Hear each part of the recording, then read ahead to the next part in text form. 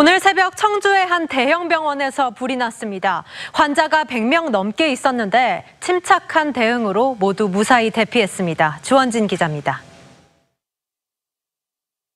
의료진들이 환자를 들어 휠체어로 옮깁니다. 소방관은 환자를 업고 내려옵니다.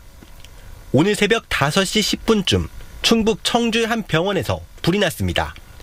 병원은 불이 나자마자 바로 방송을 하고 평소 훈련한 대로 대피했습니다.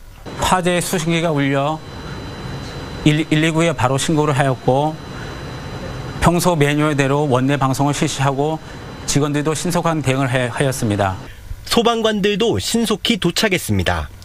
소방서가 병원에서 200m도 떨어지지 않은 곳에 있었기 때문에 빠른 대처가 가능했습니다.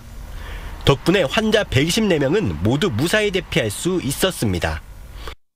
병원이 뭐 바로 옆에 있어갖고요. 저희가 출동하기가 좀 용이한 상황이었습니다. 2분 정도 걸리는데 저희한테 지령 떠가지고 병원이 불연성 소재를 사용한 것도 도움이 됐습니다.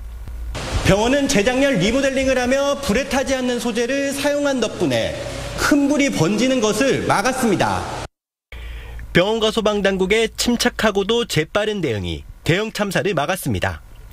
TV조선 주원진입니다.